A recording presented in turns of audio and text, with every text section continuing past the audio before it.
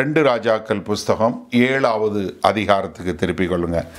Second Kings chapter seven ரெண்டு ராஜாக்கள் புஸ்தகம் ஏழாவது அதிகாரம் முதல் பதினோரு வசனங்கள். Second Kings chapter seven verses one to eleven இந்த செய்திக்கு ஒரு தலைப்பு என்ன கொடுக்கலாம் அப்படின்னு பார்த்தீங்கன்னா how can you be quiet நீங்கள் எப்படி மௌனமாய் இருக்க முடியும்?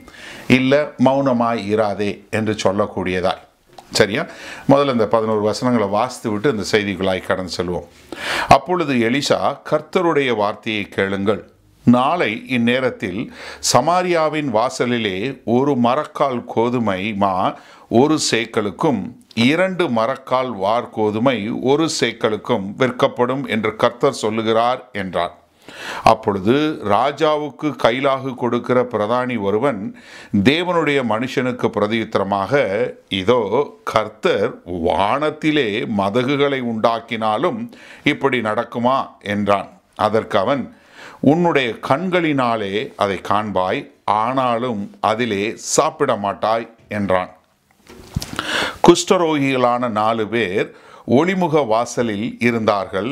அவர்கள் ஒருவரை ஒருவர் நோக்கி நாம் இங்கே இருந்து சாக வேண்டியது என்ன? பட்டணத்திற்குள் போவோம் என்றாலும் பட்டணத்தில் பஞ்சம் உண்டாயிருக்கிறதுனால் அங்கே சாவோம்.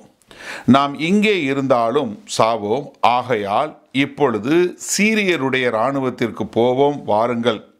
அவர்கள் நம்மை உயிரோடே வைத்தால் பிழை பிழைக்கிறோம். நம்மை கொன்றால் சாகிறோம் என்று சொல்லி சீரியருடைய இராணுவத்திற்கு போக இருட்டோடு எழுந்திருந்து சீரியருடைய பாளையத்தின் முன்னணியில் வந்தார்கள். அங்கே ஒருவரும் இல்லை. ஆண்டவர் சீரியரின் இராணுவத்திற்கு ரதங்களின் இறைச்சல்களையும் குதிரைகளின் இறைச்சலையும் மகா இராணுவத்தின் இறைச்சலையும் கேட்க பண்ணினதினால் அவர்கள் ஒருவரை ஒருவர் நோக்கி இதோ நம்மிடத்தில் போருக்கு வர இஸ்ரவேலின் ராஜா ஏத்தியரின் ராஜாக்களையும் எகிப்தியரின் ராஜாக்களையும் நமக்கு விரோதமாக கூலி பொருத்தினான் என்று சொல்லி இருட்டோடே எழுந்திருந்து ஓடிப்போய் தங்கள் கூடாரங்களையும் தங்கள் குதிரைகளையும் தங்கள் கழுதைகளையும் தங்கள் பாளையத்தையும் அவைகள் இருந்த பிரகாரமாக விட்டு தங்கள் பிராணன் மாத்திரம் தப்பும்படி ஓடிப்போனார்கள்.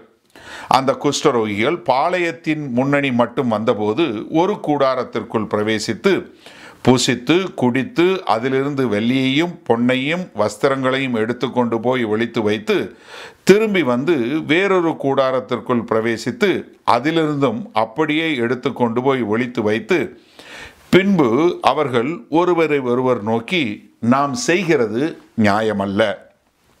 இந்நாள் நற்செய்தி அறிவிக்கும் நாள்.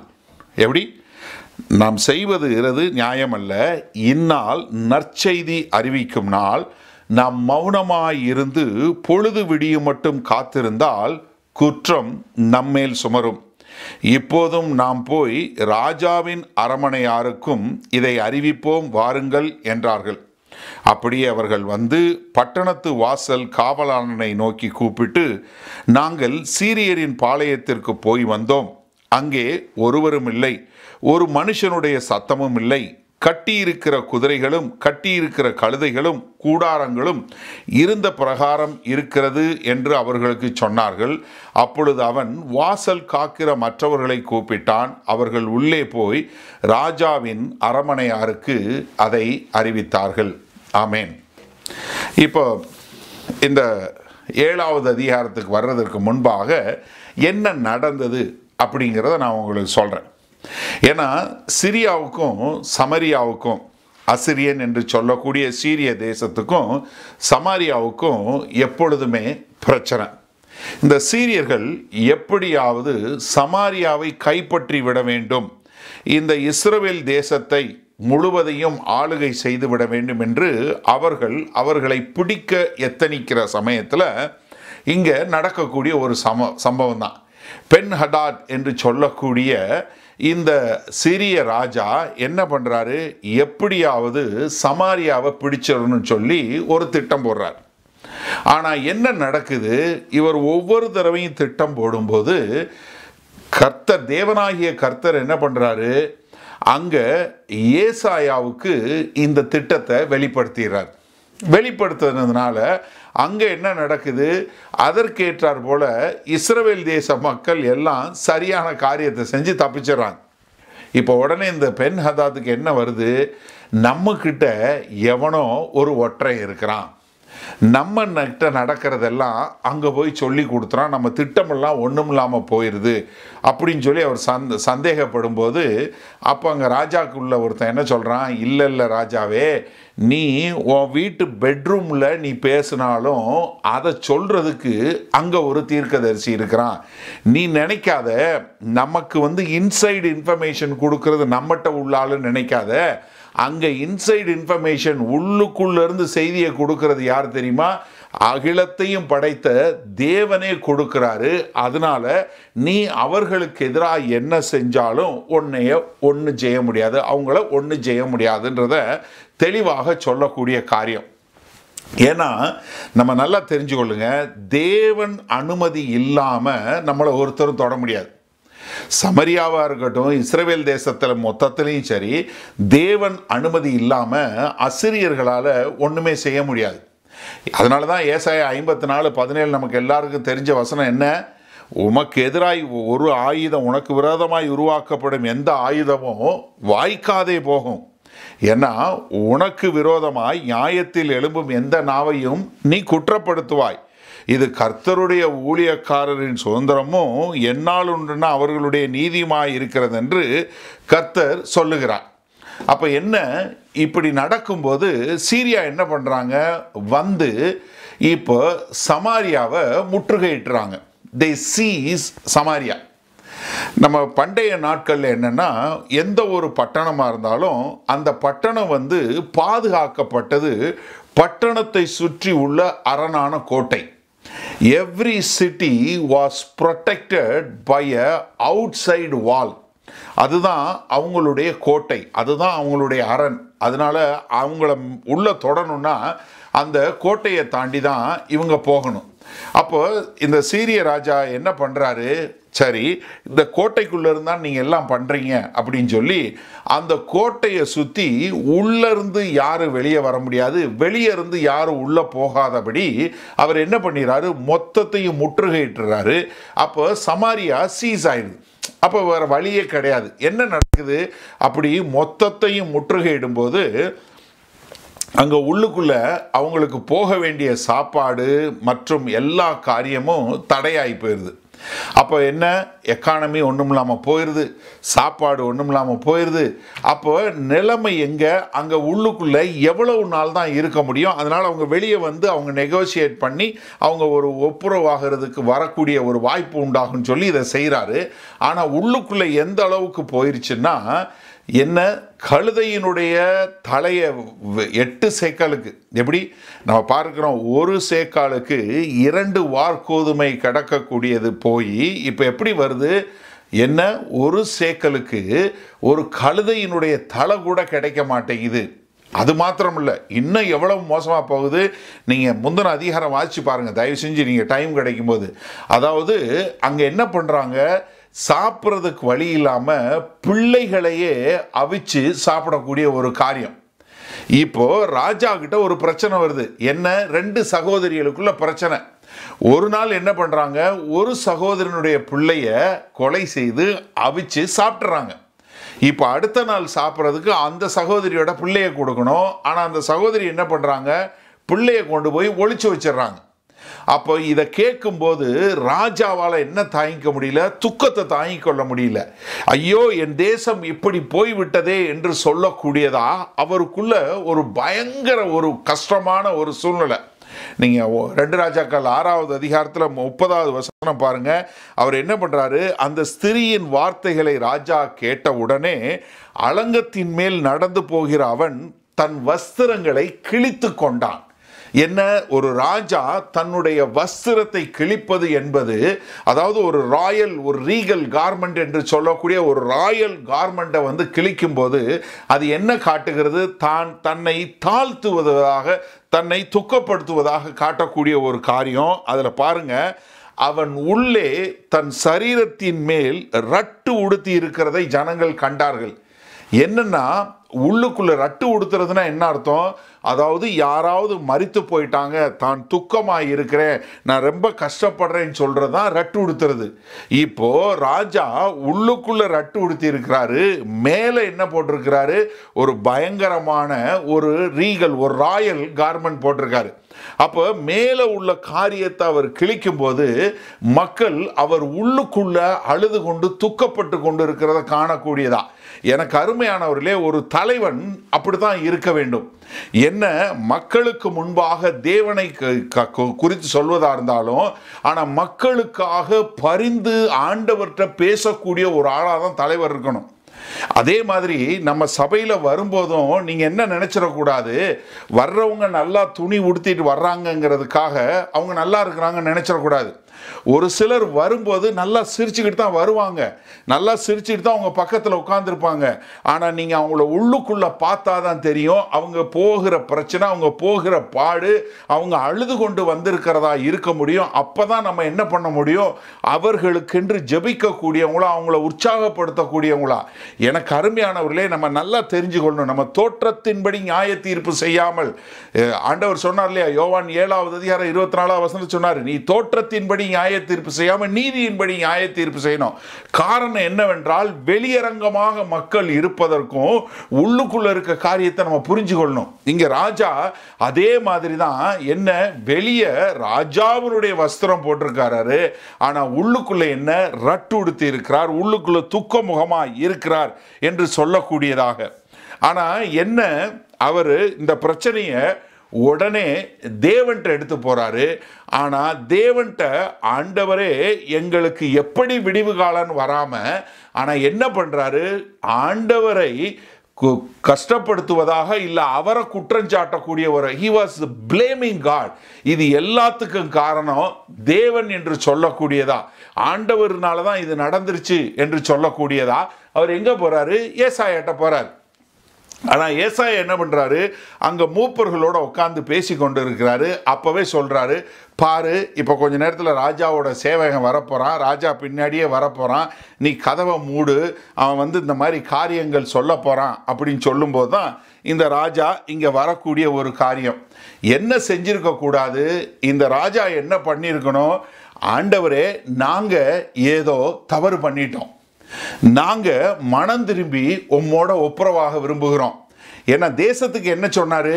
நீங்க நல்லா ஞாபகம் இருக்கா? ரெண்டு நாளாகம ஏழாவது அதிகாரத்தில் சாலமோன் ராஜா தேவாலயத்தை வந்து கர்த்தருக்கு பிரதிஷ்டை பண்ணி அவர் சொல்லும்போது என்ன சொன்னார்? ஆண்டவர் என்ன சொன்னார்? இந்த பக்கத்தில் என் நாமம் தரிக்கப்பட்ட என் ஜனங்கள் தங்களை தாழ்த்தி ஜெபம் பண்ணி என் முகத்தை தேடி தங்கள் பொல்லாத வழிகளை விட்டு திரும்பினால் என்ன? முதல்ல நீ மனம் திரும்பு உன்னுடைய வழிகளை விட்டு என்னை நோக்கி பாரு. அப்போது பரலோகத்தில் இருக்கிற நான் கேட்டு அவர்கள் பாவத்தை மன்னித்து அவர்கள் தேசத்துக்கு சேமத்தை கொடுப்பேன். இதுதான் இஸ்ரவேல் தேச மக்களுக்கும் சமாரியாவுக்கும் கொடுக்கப்பட்டது. அப்போ ராஜா என்ன பண்ணியிருக்கணும்? வாங்க நம்ம எல்லாரும் ஆண்டவரை நோக்கி பார்ப்போம். நம்மளை தாழ்த்துவோம். ஆண்டவர்கிட்ட ஜெபம் பண்ணுவோம். நம்முடைய பொல்லாத வழிகளை விடுவோம். நம்ம மனம் திரும்பி ஆண்டவர்கிட்ட போகும்போது ஆண்டவர் நம்முடைய பாவங்களை மன்னித்து நம்ம தேசத்துக்கு ஒரு சேமத்தை கொடுப்பாருங்கிறத விட்டு விட்டு இல்லை இல்லை இது எல்லாத்துக்கும் காரணம் ஆண்டவர் தான் என்று சொல்லக்கூடி அப்படி அவர் அவர் வந்து தேவனை பிளேம் பண்ணக்கூடிய ஒரு காரியத்தில் இருக்கிறார். அப்போ எலிசா சொல்லக்கூடிய வார்த்தை தான் இந்த ஏழாவது அதிகாரத்தில் உள்ள முதலாவது வசனம். என்ன சொல்றாரு? எலிசா கர்த்தருடைய வார்த்தையை கேளுங்கள். நாளை இந்நேரத்திலே சமாரியாவின் வாசலில். என்ன? நாளைக்கு. ஐயா இன்னைக்கு நிலைமை என்ன? ரொம்ப மோசம். இன்னைக்கு நிலைமை சாப்பாட்டுக்கு வழி இல்லை. இன்னைக்கு நிலைமை ஒருத்தரை ஒருத்தர் சுட்டு அவிச்சு சாப்பிட்ற நிலைமை. ஆனால் நாளைக்கு என்ன நடக்க போகுது? இருபத்தி நாலு மணி நேரத்தில் ஒரு மகா பெரிய மாறுதல் கொண்டு வர ஆண்டவரால் கூடாத காரியம் ஒன்றுமே இல்லை. நல்ல கவனிங்க. என்ன நாளைக்கு இந்நேரம். ஒரு டேர்ன் அரவுண்டுக்கு ஆண்டவர் எவ்வளோ சொல்கிறாரு ஒன்றும் கிடையாது நாளைக்கு. நாளைக்கு இந்நேரம். ஏன்னா ஒரு ஆண்டவருக்கு வந்து இருபத்தி நாலு மணி நேரம் ரொம்ப ஜாஸ்தி. அகிலத்தையும் தன் வார்த்தையினால் படைத்த தேவன் அகிலத்தையும் தன்னுடைய வார்த்தையினால் நிலைநிறுத்துகிற தேவன் அகிலத்தையும் தன்னுடைய வார்த்தையினால் போஷிக்கக்கூடிய தேவன் அகிலத்தையும் தன்னுடைய வார்த்தையினால் நியாயம் தீர்க்கக்கூடிய தேவன் அகிலத்தையும் தன் வார்த்தையினால் ரட்சிக்க போகிற தேவன் சொல்றாரு நாளைக்கு இந்நேரம். ஏன்னா நம்ம என்ன தெரிஞ்சுக்கொள்ளணும்? கர்த்தர் அவர் சகல வல்லமை பொருந்தியவர். காட் ஆல் மைட்டி அது மாத்திரமல்ல அவர் ஓம்னி பொட்டன் காட் அவரால் கூடாத காரியம் ஒன்றுமே கிடையாது. சர்வ வல்லமை பொருந்திய தேவன். எனக்கு அருமையானவர்களே உங்க வாழ்க்கையில என்ன இருந்தாலும் சரி இருபத்தி நாலு மணி நேரத்தில் ஆண்டவரால் மாற்றக்கூடிய வல்லமை பொருந்திய ஆண்டவர் உங்ககிட்ட நம்மகிட்ட இருக்கிறார். அதனால தான் அங்கே என்ன சொல்றாரு? இருபத்தி நாலு மணி நேரத்தில் நாளைக்கு இந்நேரம் ஏசாயா ஆண்டவரை குறித்து சொல்லும்போது ஏசாயா நாற்பத்தி மூணாவது அதிகாரம் பதிமூன்றாவது வசனம் ஐசாயா ஃபார்ட்டி த்ரீ தேர்ட்டின் சொல்கிறார் நான் உண்டாகிறதற்கு முன்னும் நானே இருக்கிறேன். என் கைக்கு தப்புவிக்கத்தக்கவன் இல்லை. நான் செய்கிறதை தடுப்பவன் யார்? யார் இல்லை. நான் நான் தான் எல்லாமே. அதனால தான் தானியல் நாலாவது அதிகாரம் முப்பத்தஞ்சாவது வருஷம் தானியல் சொல்லும்போது என்ன சொல்றார்? பூமியின் குடிகள் எல்லாம் ஒன்றுமில்லை என்று எண்ணப்படுகிறார்கள். அவர் தமது சித்தத்தின்படியே வானத்தின் சேனையும் பூமியின் குடிகளையும் நடத்துகிறார். அவருடைய கையை தடுத்து அவரை நோக்கி என்ன செய்கிறீர் என்று சொல்லத்தக்கவன் ஒருவனும் இல்லை. யாரும் கிடையாது. ஏன்னா சகல வல்லமை பொருந்திய தேவன். எனக்கு அருமையானவர்களே நீங்கள் ஒன்று இருக்கலாம் ஒன்று எதுக்குமே வழி இல்லாதவங்களாக இருக்கலாம். நீங்கள் ரொம்ப ம- நான் வந்து ஒன்றும் இல்லாமல் நான் பெரிய மைனாரிட்டி நான் ரொம்ப ஒன்றும் இல்லாதவன் இருக்கலாம். ஆனால் ஆண்டவர் உங்கள் கூட இருக்கும்போது God bless you is the majority நல்லா கவனிச்சு கொள்ளுங்க யாருக்கு உங்கள் கூட இருக்கிறாங்கல்ல ஆண்டவர் உங்கள் கூட இருந்தால் நீங்க தான் மெஜாரிட்டி அதனால தான் லூக்கா ஒன்று முப்பத்தேழு என்ன சொல்லுது? For with God nothing is impossible தேவனால் கூடாத காரியம் ஒன்றுமில்லை. எனக்கு அருமையானவர்களே ஆண்டவர் சொன்னா அதை நிச்சயமா செய்வார். இங்க சொல்றாரு இருபத்தி நாலு மணி நேரம். அவ்வளோதான் வேற ஒன்றும் கிடையாது. இருபத்தி நாலு மணி நேரம் தான். ஆனால் என்ன? ராஜாவால் வார்த்தையை விசுவாசிக்க முடியல. ஆண்டவர் சொல்றாரு வார்த்தையை விசுவாசிக்க முடியல. ஏன்னா கூட இருக்கவன் என்ன சொல்கிறான் ரெண்டாவது வசனத்தில் கைலாகு கொடுக்கிற பிரதானி என்ன சொல்கிறான் தேவனுடைய மனுஷனுக்கு பிரத இதோ கர்த்தர் வானத்திலே மதகுகளை உண்டாக்கினாலும் இப்படி நடக்குமா? என்ன ஆண்டவர் விண்டோ ஹெவனில் விண்டோஸ் போட்டு அதை திறந்தாலும் வானத்திலேருந்து பொழிய வச்சாலும் உண்டாகுமா? எப்படி?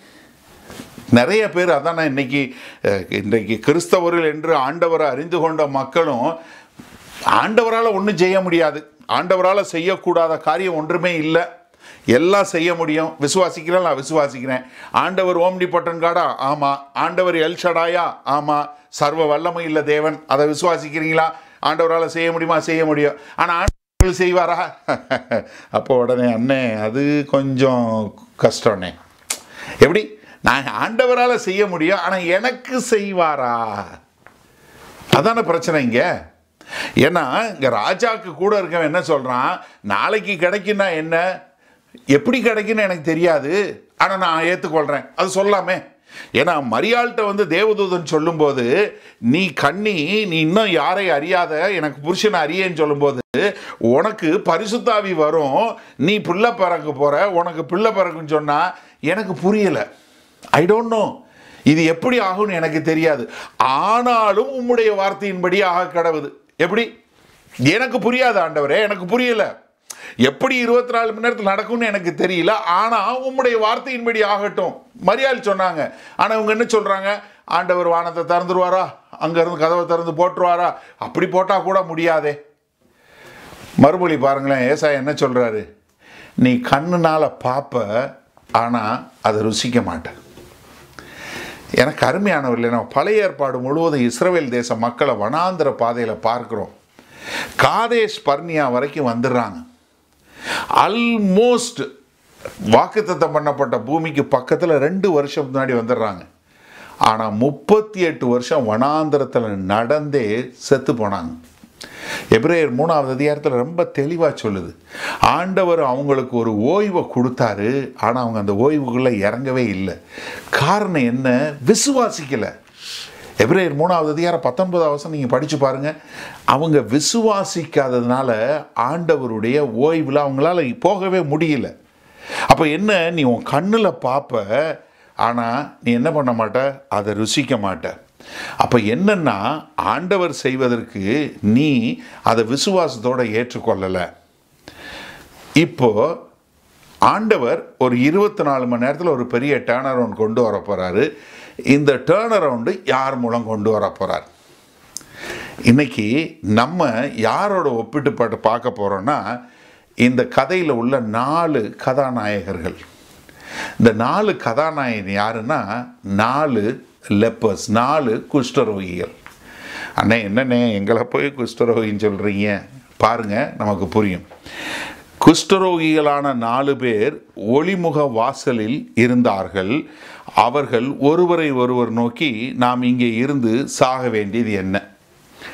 என்ன இந்த லெப்ரசி இந்த இந்த தொழுநோய் என்று சொல்லக்கூடிய குஷ்டரோகம் வந்து என்னென்னா பாவத்துக்கு பாவிகளுக்கு ஒப்பானது. குஷ்டம் பாவத்துக்கு ஒப்பானது. அடையாளமாக நீங்கள் பார்க்க முடியும்.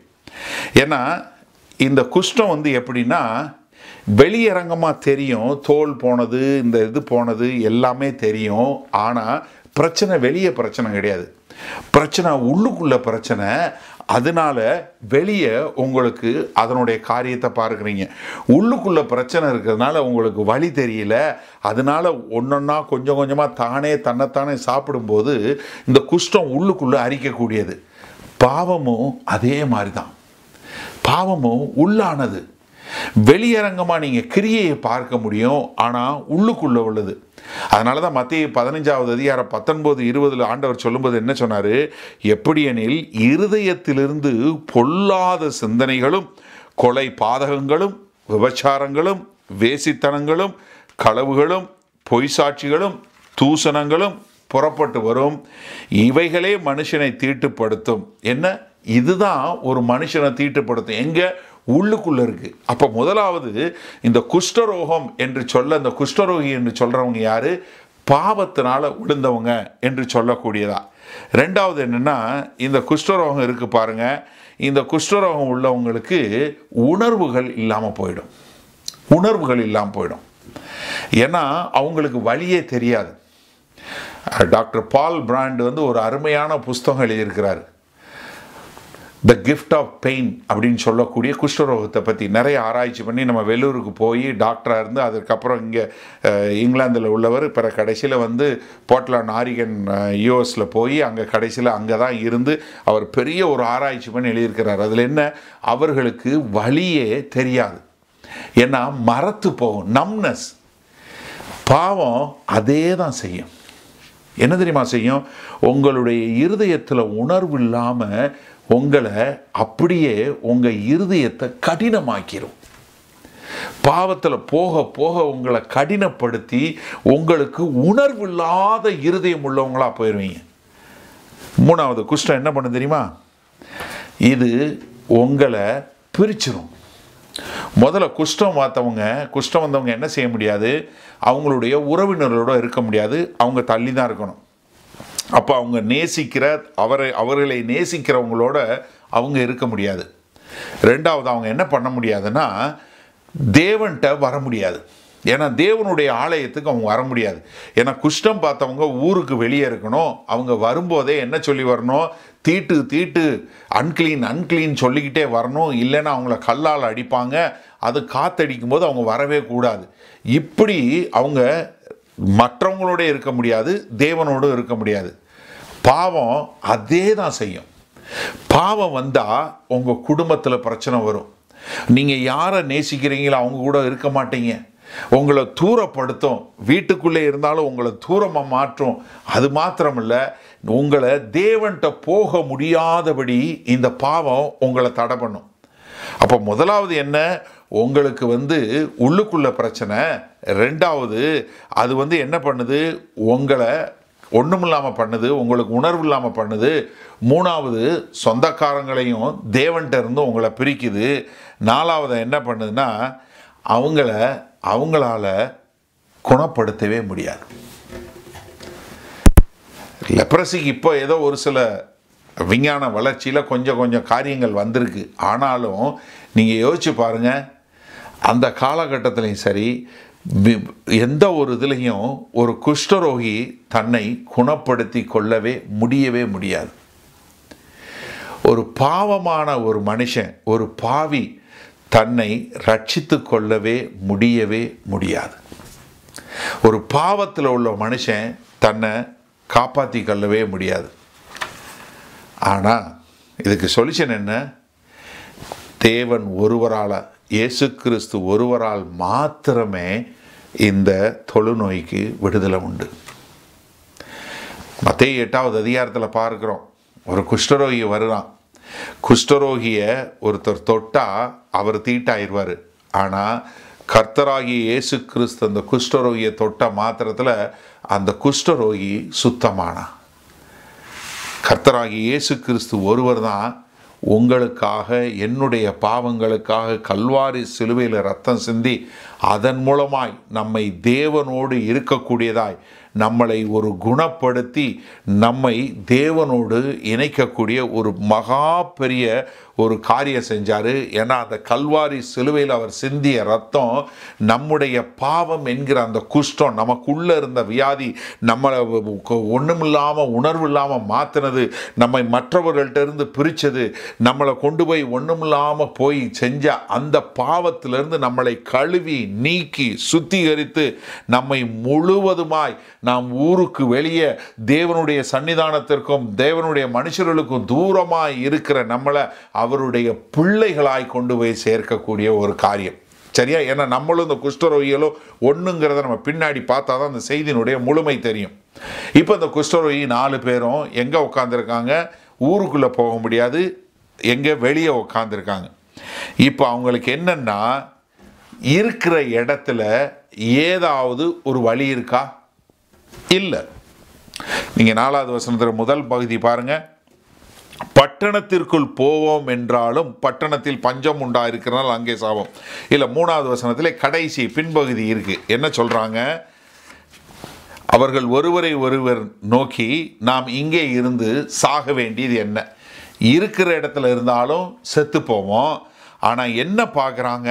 நம்ம பட்டணத்திற்குள் போவோம் என்றாலும் பட்டணத்தில் பஞ்சம் உண்டாயிருக்கிறதுனால் அங்கே சாவோம் நாம் இங்கே இருந்தாலும் சாவோம். அடுத்து என்ன சொல்கிறாங்க ஆகையால் இப்பொழுது சீரியருடைய இராணுவத்திற்கு போவோம் வாருங்கள்.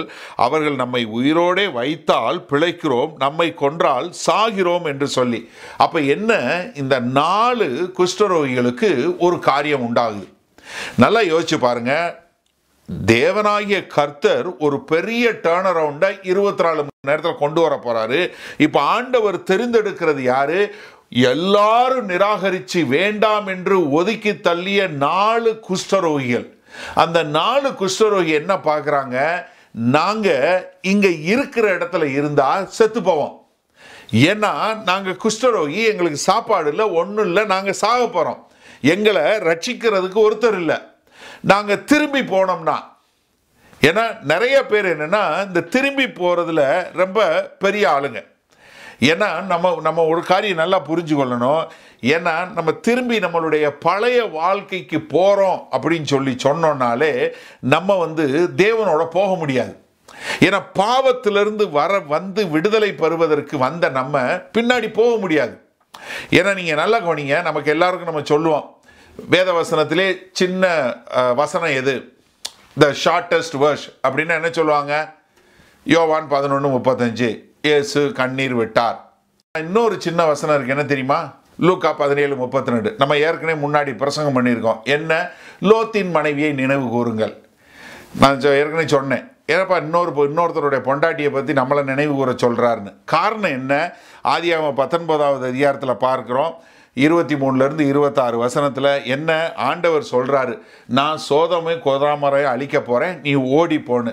கடைசியில் லோத்து நெகோசியேட் பண்ணி பக்கத்தில் இருக்க டவுனுக்கு போயிடுறேன் சரி நீ போ ஆனால் பின்னாடி திரும்பி பார்க்காத. யார் திரும்பி பார்த்தா? லோத்துவினுடைய மனைவி திரும்பி பார்த்தாங்க. என்னன்னாங்க அங்கே அவங்க உப்பு தூணாக மாறினதை பார்க்குறோம். அப்போ என்னென்னா இந்த திரும்பி பார்க்கறதுன்றிருக்கு பாருங்க. நீங்கள் திரும்பி பார்க்கும்போது நான் பழைய மாதிரி வாழணும் அப்படின்னு சொல்லி சொன்னீங்கன்னா நீங்கள் விடுதலை பெற மாட்டீங்க. நீங்கள் இஸ்ரேல் தேச ஜனங்களை எடுத்து பாருங்க. எகிப்தில் ஆண்டவர் அற்புதங்கள்னாலே அதிசயங்கள்னாலையும் கொண்டு வர்றாரு. ஆனால் அவங்களால என்ன பண்ண முடியல?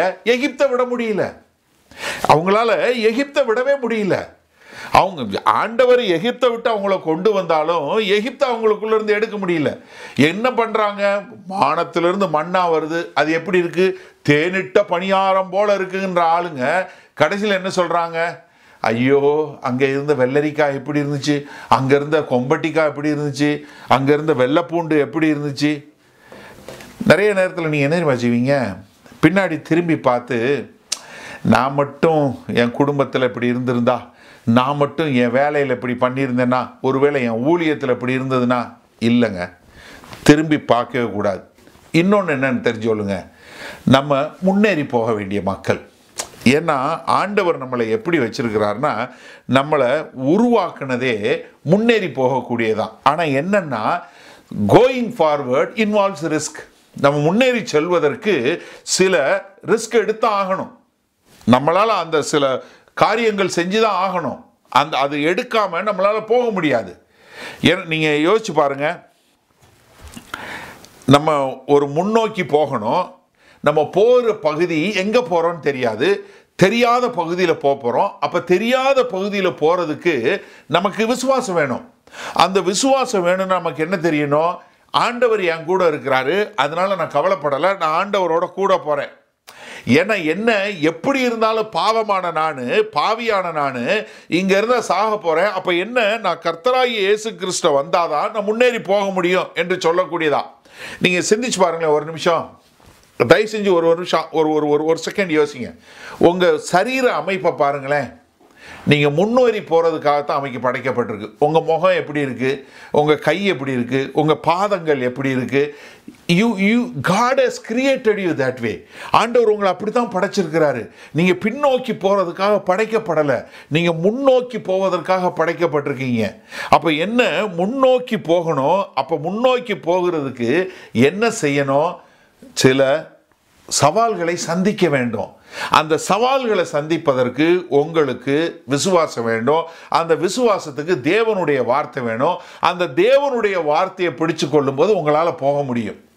இப்போ இந்த நாலு பேர் என்ன பண்ணுறாங்க அஞ்சாவது வசனத்தை பாருங்க. சீரியருடைய இராணுவத்திற்கு போக இருட்டோட எழுந்திருந்து சீரியருடைய பாளையத்தின் முன்னணியில் வந்தார்கள். அங்கே ஒருவரும் இல்லை. எப்படி? எதிரி திரளான எதிரிகள் வந்து கூடாரம் போட்டு கழுத யுத்தத்துக்கான தேவையான எல்லாத்தையும் எடுத்துக்கொண்டு வந்திருக்கிறாங்க. இவங்க செத்தாலும் பரவாயில்லை நாங்கள் போகிறோம்னு சொல்லி போய் பார்த்தா அங்கே ஒருத்தரும் இல்லை. என்ன நடந்துச்சு? எப்படி இது நடந்துச்சு? தயவு செஞ்சு உங்கள் பைபிளை பாருங்கள் ஆறாவது ஏழாவது சொன்ன பாருங்கள் சரியா? ஆண்டவர் சீரியரின் இராணுவத்திற்கு ரதங்களின் இரைச்சலையும் குதிரைகளின் இரைச்சலையும் மகா இராணுவத்தின் இரைச்சலையும் கேட்க பண்ணினதால் அவர்கள் ஒருவரை ஒருவர் நோக்கி இதோ நம்மிடத்தில் போருக்கு வர இஸ்ரவேலின் ராஜா ஏத்தியரின் ராஜாக்களையும் எகிப்தியரின் ராஜாக்களையும் நமக்கு விரோதமாக கூலி பொருத்தினான் என்று சொல்லி. என்ன? இப்போ வந்தது யாரு? நாலு குஷ்டரோகி. நல்ல கவனிய குஷ்டரோகி நடந்தா சத்தமே வராது. ஏன்னா அவங்க எல்லாமே என்ன பண்ணியிருப்பாங்க துணி சுற்றியிருப்பாங்க கை கால் எல்லா இடத்துலையும் துணியை சுற்றியிருப்பாங்க ஏன்னா அவங்களுக்கு எங்கேயாவது தட்டுச்சுன்னா ரத்தம் வந்துச்சுன்னா நிற்காது அதனால அவங்க துணி சுற்றியிருப்பாங்க அதனால் அவங்க நடக்கிற சத்தமே கேட்காது. முதலாவது. ரெண்டாவது இவங்க பசி மயக்கத்தில் இருக்கிறாங்க. செத்தாலும் பரவாயில்லைன்னு வரப்போகிறவங்க அதனால இவங்க ஓடியும் வரல. அதனால் இவங்க சத்தம் கந்திருக்கல ஆனால் ஆண்டவர் அதை எப்படி மாற்றுறாரு இராணுவத்துக்குரிய ரதங்களின் இரைச்சலையும் குதிரைகளின் இரைச்சலையும் மகா இராணுவத்தின் இறைச்சல்களையும் எனக்கு அருமையானவர்களே நீங்க தேவனோட இருக்கும்போது என்னால் நடக்க முடியல நான் குஷ்டம் நான் நடக்க முடியலன்னு சொல்லி நீங்க நடக்கிற அந்த சத்தத்தை தேவன் எப்படிப்பட்ட சத்தமாக மாத்துறாரு?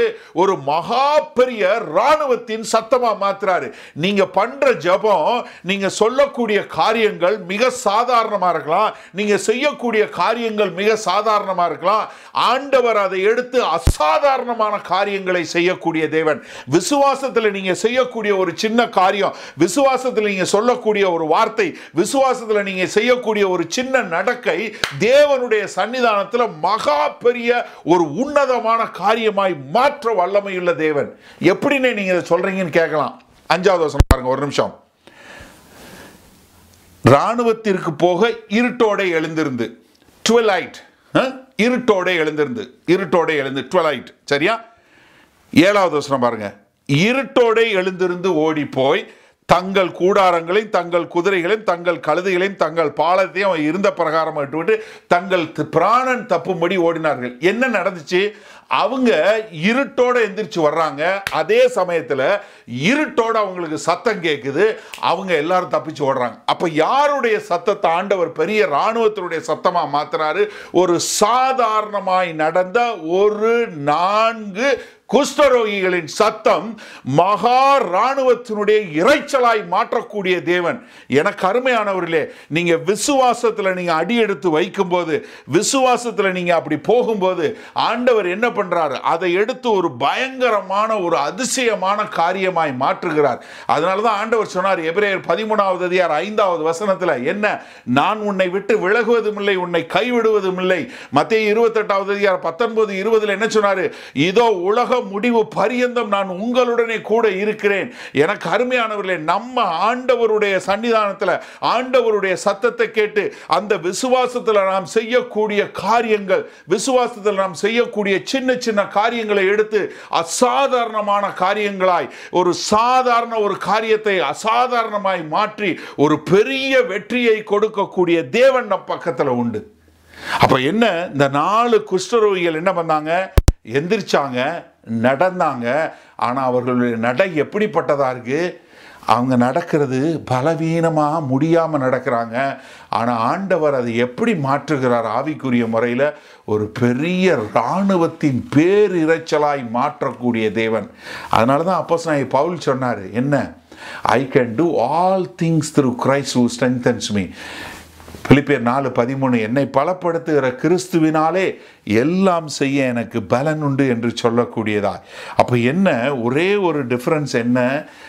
இங்கே விசுவாசத்தோட நாலு பேர் எந்திரிச்சு போனாங்க. ஆனால் இராணுவம் கோட்டைக்கு உள்ளே இருந்துச்சு.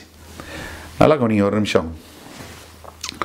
கோட்டைக்குள்ளே இராணுவம் இருக்குது அவங்கக்கிட்ட சத்தம் போடக்கூடிய எல்லாமே இருக்குது அவங்க போடலை.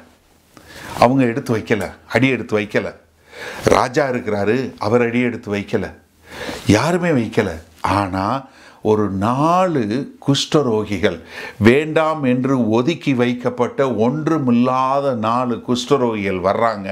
அங்கே ஆண்டவர் பெரிய ஒரு அற்புதமான காரியம். நீங்கள் நினைக்கலாம் அண்ணே நான் ரொம்ப வீக்குனே என்னால் ஒன்றும் செய்ய முடியாதுனே. எனக்கு உங்களை மாதிரி பிரசங்கம் பண்ண வராதுனே. எனக்கு அந்த பிரதரை மாதிரி பாட்டு பாட தெரியாதுனே. எனக்கு இந்த சிஸ்டர் மாதிரி ப்ரே பண்ண தெரியாதுனே. எனக்கு அவங்கள மாதிரி இது பண்ண தெரியாது. ஒன்றும் கவலை நீங்கள் அடுத்த ஆள் மாதிரி பண்ணாதீங்க.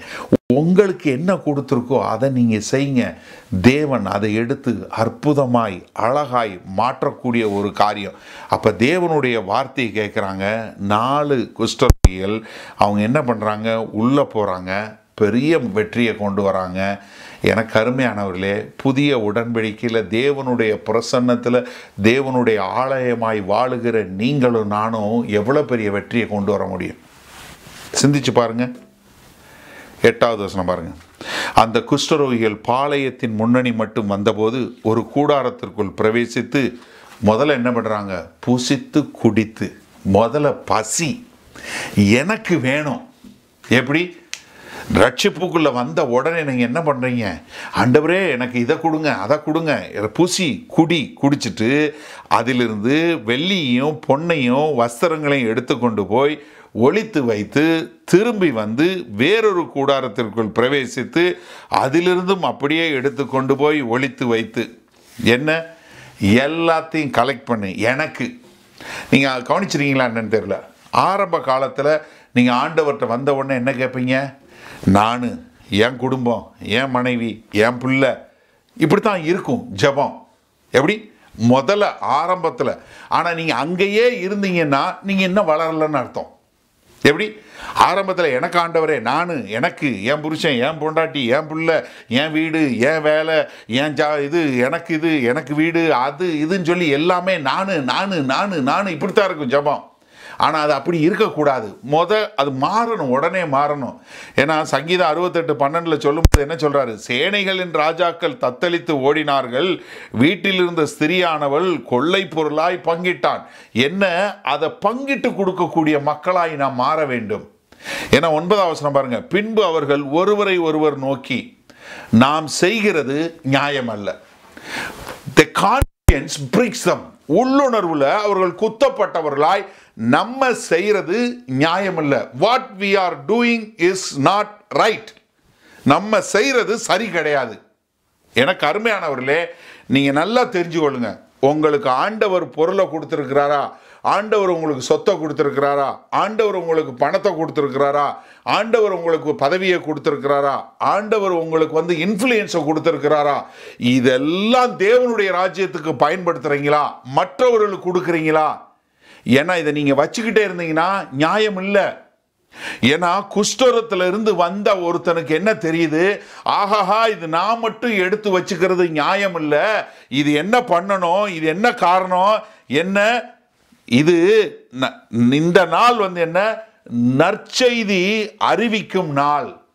என்ன இந்த நாள் வந்து எல்லாருக்கும் சுவிசேஷம் உங்களுக்கும் விடுதலை உண்டு. நீங்கள் வந்து இங்க மரண அவஸ்தியில நீங்க உங்கள் நீங்கள் கட்டின அரணுக்குள் இருந்து நீங்கள் கட்டின மதத்திற்குள் இருந்து நீங்க கட்டின கோட்டையாகிய நான் நல்லவென்றதுல இருந்து நீங்க எந்த ஒரு கோட்டையை கட்டிக்கொண்டு தேவன்கிட்ட வராம இருந்திருந்தீங்கன்னா ஐயோ இங்க வாங்க இந்த பக்கத்துல வந்தீங்கன்னா தேவனுடைய ஆசீர்வாதம் இருக்கு தேவன் உங்களை போஷிக்க கூடியவராயிருக்கிறார் உங்களுக்கு போதும் என்கிற அளவிற்கு எல்லாத்தையும் கொடுக்க வல்ல தேவன் இருக்கிறார். உங்களை ரட்சிப்பார். இது இன்றைக்கு இந்த நாள் நற்செய்தி அறிவிக்கிறார் நாள் அதனால என்ன செய்ய முடியாது? நாம் மௌனமாய் இருந்து பொழுது விடியும் மட்டும் காத்திருந்தால் குற்றம் நம்மேல் சுமரும். எனக்கு அருமையானவர்களே நீங்க ரட்சிக்கப்பட்டவங்களா இருந்தா ஆண்டவருடைய ரட்சிப்பை உணர்ந்தவர்களா இருந்தார். ஆண்டவர் என்னை ரட்சித்தார். நான் பாவியா இருந்தேன். என்ன பாவத்திலிருந்து விடுதலை பண்ணாரு. எனக்கு நித்திய வாழ்க்கையை கொடுத்திருக்கிறார். அந்த நித்திய வாழ்க்கையை பெற்ற நான் தேவனுடைய நித்திய சந்தோஷத்துல தேவனுடைய நித்திய சமாதானத்துல இருக்க போகிற நான் சதா காலத்துல இருக்க போறேன். நான் எப்படி என்னுடைய கணவன் ரட்சிக்கப்படாமல் இருக்க முடியும்? எப்படி என்னுடைய சொந்த ரட்சிக்கப்படாமல் இருக்க முடியும்? எப்படி என்னுடைய சகோதர சகோதரி சகோதரிகள் ரட்சிக்கப்படாமல் இருக்க முடியும்? எப்படி என் கூட வேலை பார்க்குறவங்க ரட்சிக்கப்படாமல் இருக்க முடியும்? நான் எப்படியாவது இவர்களுக்கெல்லாம் சுவிசேஷத்தை அறிவிக்க வேண்டுமே? அப்படி அறிவிக்காம இருந்தா அந்த குற்றம் என் மேல வருமே? நான் எப்படி நான் சும்மா இருக்க முடியும்? என்னை இலவசமாய் ரட்சித்தாரே அவர் கிருபையினால் நான் ரட்சிக்கப்பட்டனே. அவருடைய இரக்கம் என் மேல் வந்ததே. என்னுடைய பாவங்களுக்கு ஒரு மீட்பு வந்ததே. அந்த ரட்சிப்பை பெற்றுக்கொண்ட நான் சும்மா இருக்க முடியாது. மௌனமாய் இருக்க முடியாது. இருக்க முடியாது. ஏன்னா ஒரு குஷ்டரோகி என்ன சொல்றாங்கன்னா மௌனமா இருக்க முடியாது. மௌனமா இருந்தா என் மேல வரும். எப்படி? நான் பாட்டுறேன். அவங்களுக்கு தெரியும். ஏன்னா நான் வந்து அங்க இருந்தாலும் சாகுறேன். பின்னாடி போனாலும் சாக போறேன். முன்னாடி போனாலும் செத்தா போலும் பரவாயில்லை என்று ஒரு சவாலாய் எடுத்துக்கொண்டு தேவனுடைய வார்த்தையின்படி முன்னாடி வந்த அந்த குஷ்டரோகிகள் என்ன பண்ணாங்க? சுவிசேஷத்தை அறிவிக்கக்கூடியவர்களாய் மாறினார்கள். இந்த நாள் இந்த நாள் twenty four hours turn around இருபத்தி நாலு மணி நேரத்தில் ஆண்டவர் எல்லாவற்றையும் மாற்றுகிறேன் சொன்னவர் மாத்தினாரு. அதை அறிவிக்கக்கூடிய ஒரு தகுதி இல்லாத தங்களால் ஒ- தேசத்தால் ஒதுக்கி வைக்கப்பட்ட தன்னுடைய குடும்பத்திலிருந்து ஒதுக்கி வைக்கப்பட்ட தேவனுடைய பிரசனத்திலிருந்து ஒதுக்கி வைக்கப்பட்ட செத்தவர்கள் என்று இருந்த மக்களை எடுத்து அவர்கள் மூலமாய் மற்றவர்களுக்கு சுவிசேஷத்தை கொடுக்கக்கூடிய தேவன் இன்றைக்கு நம்ம மத்தியில் இருக்கிறார். எனக்கு அருமையான தேவ ஜனமே நன்றாக அறிந்து கொள்ளுங்க. நீங்க ரட்சிக்கப்படுவது முன்பாக எபேசிய ரெண்டு ஒண்ணுல சொன்னது போல நீங்க பாவத்திலையும் அக்கிரமத்திலையும் மறித்தவர்களா இருந்தீங்க. ஒன்றுமில்லாதவங்களா இருந்தீங்க. நீங்க ஏதோ செஞ்சதுனால நீங்க ரட்சிக்கப்படல. நீங்க ஏதோ நல்லவனால ரட்சிக்கப்படல. நீங்க ரட்சிக்கப்பட்டதற்கு காரணம் கர்த்தரா இயேசு கிருஷ்ணனுடைய கல்வாரி திரு ரத்தம். ஆண்டவர் உங்களை அழைச்சாரு. யோவான் ஆறாவது அதிகாரம் நாற்பத்தி நாலாவது வசனம் ரொம்ப தெளிவாக சொல்லுது. பிதாவாகிய தேவன் ஒருவனை தன் பக்கத்தில் இழுத்து கொள்ளாவிட்டால் ஒருவனும் என்கிட்ட வரமாட்டான். அப்போ எனக்கு அருமையானவர்களே அப்போ ஆண்டவர் உங்களை இழுத்து கொண்டார். அவருடைய காருண்யத்தினால அவருடைய அன்பினால அவருடைய இரக்கத்தினால அவருடைய கிருபையினால உங்களை இழுத்து கொண்டார். அதனால தான் இப்போ பேதர் சொல்லும்போது தன் நிறுவத்தில் என்ன சொல்கிறாரு the joy which is inexpressible வார்த்தைகளில் சொல்ல முடியாத அந்த சந்தோஷம்.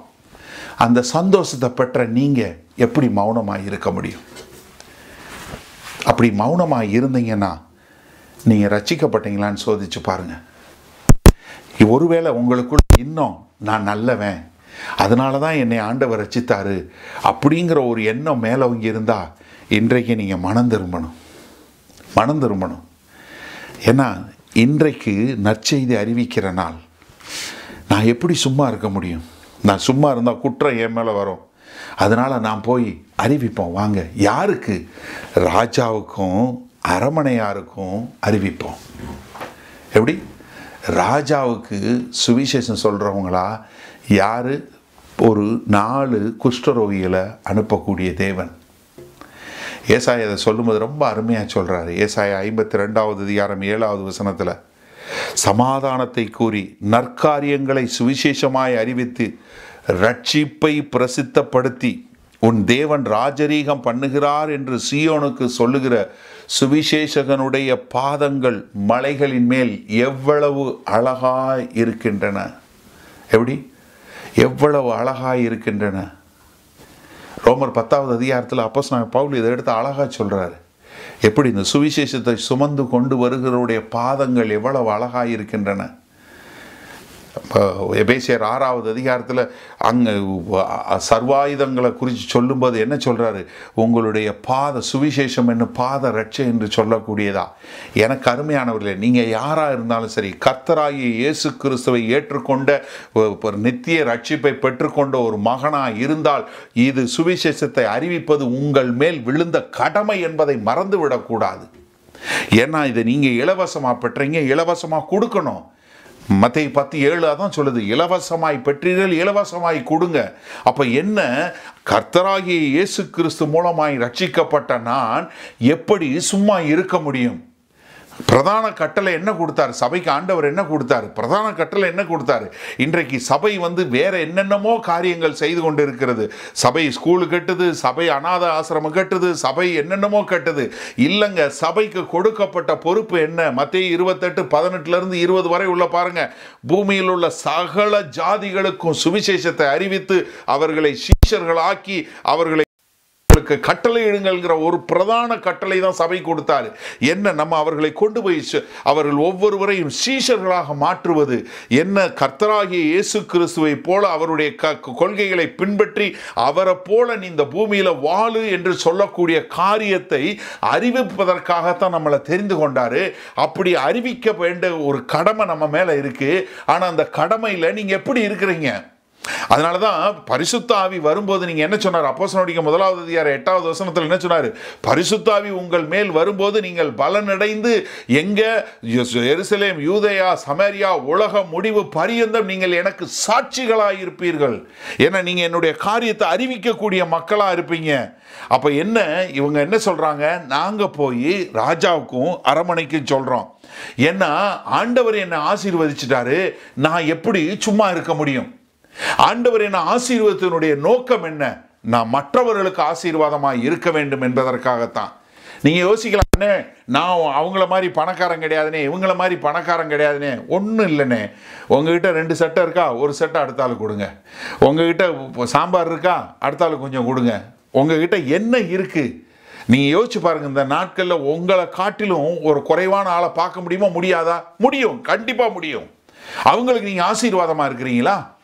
வேலை இல்லாத ஒருத்தருக்கு உதவி செய்கிறீங்களா இல்லை வாகனம் இல்லாத ஒருத்தவங்களுக்கு கார் ஓட்டுறீங்களா? இல்ல சமைக்க முடியாத இருக்கவங்களுக்கு சமைக்கிறீங்களா? இல்ல கடைக்கு போக முடியாதவங்களுக்கு ஒரு கடைக்கு போறீங்களா? இல்லை ஏதாவது என்ன செய்றீங்க? What what are you doing with what you have got உங்களுக்கு கொடுக்கப்பட்டதை வச்சு நீங்க என்ன செய்கிறீங்க தேவனுடைய சுவிசேஷம் போவதற்கு என்ன செய்கிறீங்க உங்களால என்ன செய்ய முடியும்? வாட் டேலண்ட் யூ ஹாவ் உங்ககிட்ட என்ன திறமை இருக்கு? உங்ககிட்ட என்ன தாளந்து இருக்கு? அதை எப்படி சுவிசேஷத்துக்காக உபயோகப்படுத்த முடியும்? எப்படி சபையில சேர்ந்து நம்ம சுவிசேஷம் அறிவிக்கிறவங்களா அறிவிக்கப்படாத மக்களுக்கு சுவிசேஷத்தை அறிவிக்கக்கூடிய காரியத்தை நம்ம எப்படி செய்ய முடியும்? ஏன்னா அவங்க போனாங்க. போய் எங்க? அரண்மனையில் காவல்காரங்கிட்ட சொல்லி எல்லாருக்கிட்டையும் சொல்லி என்ன இதே மாதிரி எல்லா இடத்துல இருக்கு நீங்கள் போங்க அப்படின்னு. சங்கீதம் அறுபத்தி எட்டில் பன்னெண்டாம் வசனம் வாசிச்சேன். பதினோராம் வசனம் பாருங்க. ஆண்டவர் வசனம் தந்தார் அதை பிரசித்திப்படுத்துகிறவர்களின் கூட்டம் மிகுதி. ஆங்கில வேதாமத்தில் வாசிக்கிறேன் பாருங்க. The Lord gave the word great was the company of those who proclaim it எப்படி? ஆண்டவர் கொடுத்த வசனத்தை எல்லா இடத்துலையும் பிரசித்து பண்ண போகிற ஒரு ஒரு பெரிய கூட்டமாக நம்ம மாற வேண்டும். யோசிச்சு பாருங்க. ஆண்டவர் ஒரு மிகப்பெரிய டேர்னர் ஒன்று பெரிய திருப்பு முனையை கொண்டு வரார் சமாரியா அதனுடைய இடத்துல. அதை கொண்டு வருவதற்கு ஆண்டவர் உபயோகப்படுத்துறது யார்? நாலு குஷ்டரோகிகளை. எனக்கு அருமையானவர்களே ஒரு காலத்தில் நீங்களும் நானும் குஷ்டரோகியாக இருந்தோம். இயேசு கிறிஸ்து வந்தார். நம்முடைய பாவம் என்கிற குஷ்டரோகத்திலிருந்து நம்மளை விடுதலை பண்ணார். இப்போ நம்ம சுத்தமாயிட்டோம். யாரெல்லாம் கர்த்தராகிய இயேசு கிறிஸ்துவை ஏற்றுக்கொண்டீங்களோ அப்பொழுதே நாம் எல்லாம் பரிசுத்த ஆவியை பெற்று நாம் பரிசுத்தவான்களாய் மாறிவிட்டோம். இப்போ நம்ம ஒரு குஷ்டரோகியை பார்த்து தூரம் போகலாமா? ஒரு பாவியை பார்த்து நாம் தூரம் போகலாமா? எனக்கு அருமையானவர்களே நீங்கள் மௌனமாக இருக்கலாமா? சிந்திச்சு பாருங்கள் ஒரு நிமிஷம் சிந்திச்சு பாருங்கள் நீங்கள் மௌனமாக இருக்கலாமா? எப்படி மௌனமாக இருக்க முடியும்? ஒரு நாலு குஷ்டரோகியை வச்சு ஒரு தேசத்தில் ஒரு பெரிய மாறுதலை கொண்டு வந்த தேவன் இன்றைக்கு அவர் தேடுகிற ஆள் நீங்கள் தான் ஆமாம் சகோதரனே சகோதரியே நீங்கள் தான் வேற யாரும் இல்லை. நீங்கள் பக்கத்தில் இருக்கவங்கள பார்க்காதீங்க. உங்கள் சபையில் உள்ள போதகரை பார்க்காதீங்க. இல்லை லீடரை பார்க்காதீங்க. நீங்கள் தான் அது எந்த குஷ்டரோகியாக இருந்தாலும் அந்த குஷ்டரோகியை தொட்டு அதன் மூலமாய் மாற்றக்கூடிய தேவன். எனக்கு ரொம்ப பிடிச்ச காரியம் ஒரு காரியம் என்ன தெரியுமா? மார்க் ஐந்தாவது அதிகாரத்தில் ஒரு பிசாசு பிடிச்சவன் வரான். ரெண்டாயிரம் பிசாசு இருக்கு அவன்கிட்ட. ஆண்டவர் ஒரே இதில் என்ன பண்ணுறாரு ரெண்டாயிரம் பிசாசு ஒரே ஸ்ட்ரைட் டிஸ்கவுண்ட் எல்லா பிசாசும் போ. அவ்வளோதான் பண்ணியில் போய் எல்லாம் உளுந்து செத்து போயிடுது உடனே அவன் என்ன சொல்கிறான் ஆண்டவரே நான் உங்கள் கூட வருவேன் அப்படின்னு. அப்போ ஆண்டவர் சொல்கிறார் நீ போ. நீ போய். தேவன் உனக்கு செஞ்சதை உன் குடும்பத்தாருக்கும் மற்றவர்களுக்கும் அறிவின்னு. சிந்திச்சு பாருங்கள் ஒரு நிமிஷம். அந்த குஷ்ட அந்த பிசாசு பிடிச்சவன் பைபிள் காலேஜ் போகலங்க அந்த பிசாசு பிடிச்சவன் எங்கேயும் போய் ட்ரைனிங் எடுக்கலைங்க. அந்த பிசாசு பிடிச்சவன் போய் தேடி கண்டுபிடிச்சி ஒரு ஜப கூட்டத்தில் சேரலைங்க. அந்த பிசாசு பிடிச்சவனை உற்சாகப்படுத்துறதுக்கு வார்த்தையை கொடுக்கறதுக்கு எந்த போதகர் இல்லைங்க. ஆனால் அந்த பிசாசு பிடிச்சவன் என்ன தெரியுமா செஞ்சான்? போய் ஊழியம் பார்த்தான். அவர் கட்டின சபையை இப்போ ஒரு எழுபது வருஷத்துக்கு முன்னாடி கண்டுபிடிச்சாங்க. சிந்திச்சு பாருங்க. அவர்கிட்ட இருந்த செய்தி என்ன? ஒரே செய்தி என்ன? அம்மனமா எல்லாருமேலே கல்லெறிஞ்சிக்கிட்டு ஒருத்தன் ஓடினான் இல்லையா? ஆமாம் அது நான் தான் இப்போ நான் ட்ரெஸ் போட்டிருக்கேன் சரியான எண்ணத்தில் இருக்கேன் சரியாக இருக்கிறேன். காரணம் என்ன தெரியுமா? இயேசு கிறிஸ்து. எனக்கு அருமையானவர்களே ஏன் உங்கள் வாழ்க்கையில் ஆண்டவரை குறித்து உங்களால் சாட்சி சொல்ல முடியாதா? நான் கிறிஸ்தவ ஏற்றுக்கொள்வதற்கு முன்பாக எப்படி இருந்தேன்? எனக்கு எப்படி எனக்குள்ளே சமாதானம் வந்தது? கடந்த வாரம் ஞானஸ்தான ஆராதனை நடந்தது. ஏழு பேர் எவ்வளோ அழகாக சொன்னாங்க. எப்படி என்னுடைய வாழ்க்கை மாறினதுன்னு. அருமையாக சகோதரி பிந்து சொன்னாங்க. என் வாழ்க்கையில் மாறுதல் வந்தது. என் பிள்ளைய தொட்டது. எனக்கு அருமையானவர்களே இன்றைக்கு உங்கள் வாழ்க்கையில் வரக்கூடிய மாறுதலை சாட்சியாக சொல்லுங்கள் அது கட்டுகளில் இருக்கிறவங்களுக்கு இல்லை அரணுக்குள்ளே அடைபட்டு கிடக்கிறவங்கள பசிதாகத்தோடு உட்காந்துருக்கவங்கள அழிந்து போகிறோன்னு சொல்லி இருக்கிறவங்கள அக்கிரமத்தில் வாழ்கிறவங்கள விடுதலை செய்து தேவனுடைய பிள்ளைகளாய் மாற்றும். அந்த வல்லமையுள்ள வார்த்தை இப்போ எங்கே இருக்குது உங்கள் வாயில் இருக்குது வாயை விரிவாக திறப்பீங்களா? இல்லை மௌனமாக இருப்பீங்களா? குஷ்டரோகிகள் சொன்னாங்க நான் மௌனமாக இருந்தால் இந்த குற்றம் நம்மேல் வந்து சேரும் என்று.